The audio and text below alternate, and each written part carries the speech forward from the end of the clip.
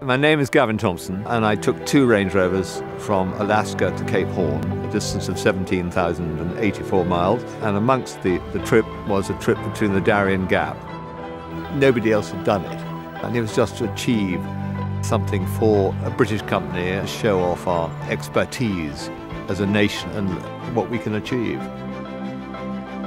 It was hard work, certainly, but obviously a trip of a lifetime from Alaska to Cape Horn.